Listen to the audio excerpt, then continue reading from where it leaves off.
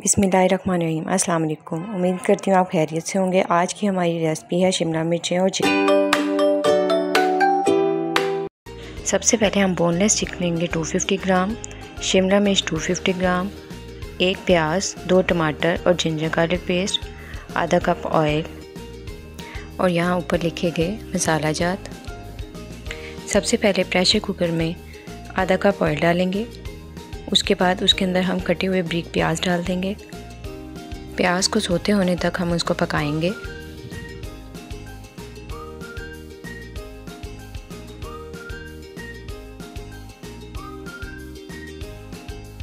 फिर जब प्याज सोते हो जाएँ तो उसके अंदर हम लहसुन अदरक का पेस्ट डालेंगे।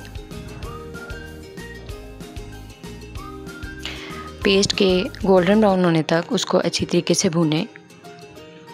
और जब वो अच्छे तरीके से गोल्डन ब्राउन हो जाए तो उसके अंदर आप चिकन डाल दें। चिकन डालने के बाद चिकन का भी रंग बदलने तक आप उसको अच्छे तरीके से भूनें।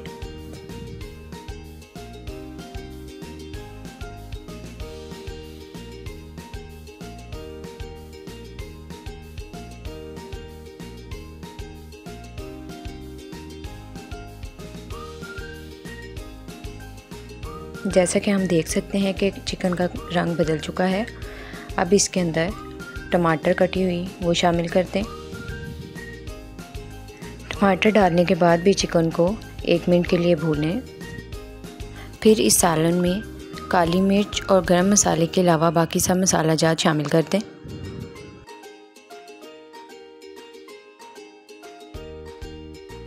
फिर इसमें मसाला जात शामिल करके तब तक भूनें जब तक ये अपना ऑयल नहीं छोड़ देता। जब सालन अपना ऑयल छोड़ दे तो उसके अंदर आधा कप पानी शामिल करके उसको प्रेशर पे लगा दें। दो मिनट तक प्रेशर चलने के बाद आप चूल्हा बंद कर दें। उसके बाद सालन की ऐसी शक्ल निकल आएगी। पानी खुश्क होने तक मसाले को अच्छे तरीके से भूनें। यहाँ तक कि वो घी छोड़ दें।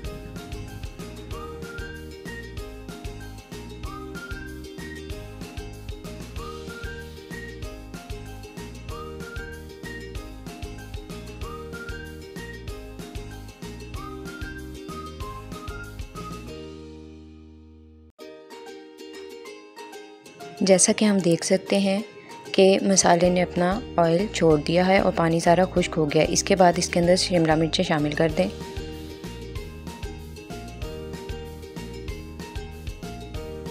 और इसको कुछ सेकंड भूनने के बाद 10 मिनट के लिए धीमी आँच पर उसको दम पे रख दें।